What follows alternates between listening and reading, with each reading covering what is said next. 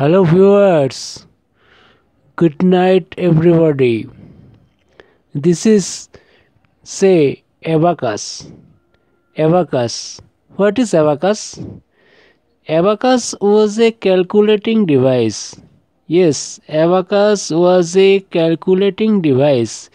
It was the first calculating device that calculated adding, subtracting, dividing, and multiplying. It was invented China. Near about 5000 years ago it was invented. Then it was used and used. Nowadays it was used in primary and pre-primary education. Still it is used. No one answered the questions of inventor's name. Abacus. This picture is abacus. Abacus was a device that made a frame with rows of wires or groups along which beads are slid.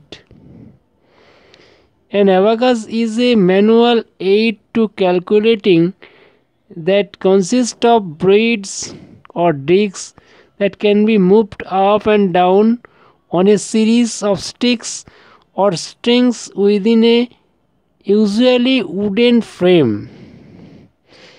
An abacus is a calculation tool used by sliding counters along rods and grooves used to perform mathematical functions. In addition to calculating the basic function of addition, subtraction, multiplication, and division, the exact date of the invention of the original counting frame in, uh, is unknown. The abacus is believed to have been invented between 2700 BC and 300 BC.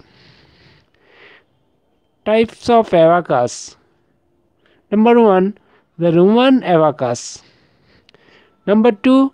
Japanese Soroban abacus. Number 3. Russian abacus. Number 4. Binary abacus. Number 5. Cranmer abacus. Number 6. Chinese abacus. That's end many many thanks everybody. That's all